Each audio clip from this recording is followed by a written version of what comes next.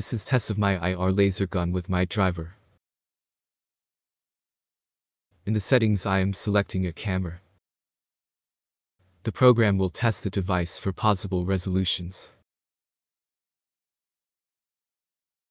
After I choose resolution I can select one of FPS modes.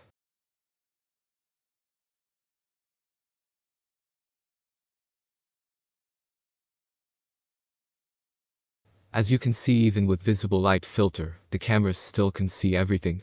That is because the sunlight contains whole spectrum, even that invisible to the human eye.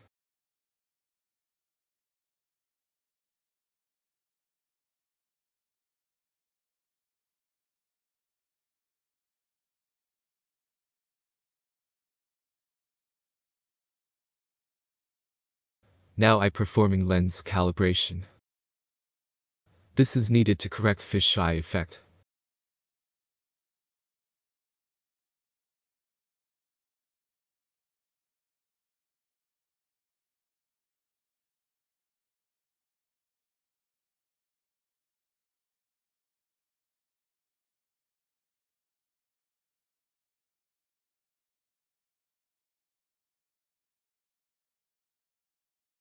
After calibration, I mark the corners of the screen.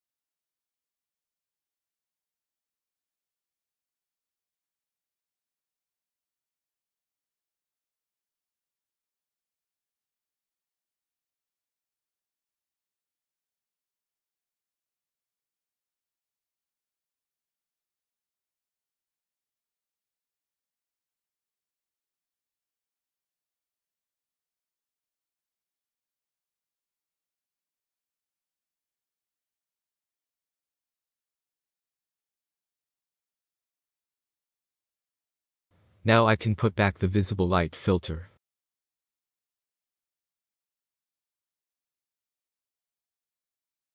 Now camera can see only my IR laser.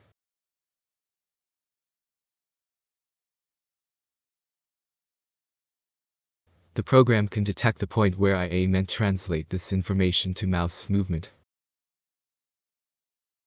If you want to test it yourself, please visit my website.